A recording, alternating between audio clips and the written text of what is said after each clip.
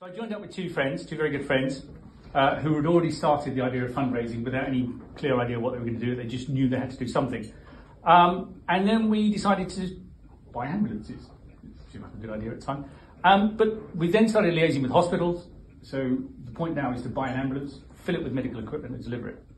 Um, Saturday, two weeks ago, uh, I was, worked with a team. We delivered six ambulances to a number of hospitals uh, in Ukraine.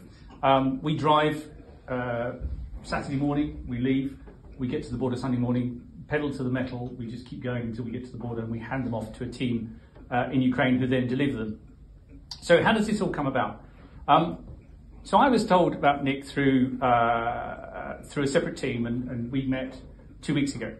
After about 10 minutes, we, we decided we were committing ourselves to work together to keep up the momentum and construct uh, something with a bit more efficiency. Lots of groups doing individual things, there has to be a, a, a, more effective way of doing this. So now with large donors, we have the ability not just to buy an ambulance, but to actually buy what I call a mission, what Nicholas called a, mission. So that actually means now buying an ambulance and delivering it straight to a hospital in Ukraine, full with all the equipment it needs. So through Robbie Lyle, uh, a, Nick, a collection that, that Nick has, we now have an agreement with the Department of Health and, and Social Care uh, to carry um, ambulances with NHS donated equipment. Um, it was confirmed yesterday um, that we are now partnering with an English registered charity uh, for the benefit of proprietary gift aid.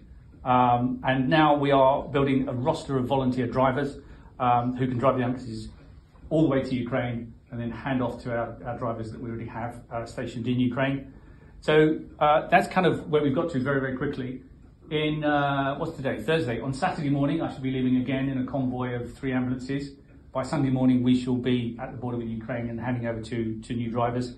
Um, we then go back to the airport, fly home Sunday, and we get home Sunday night, and then back to work on Monday.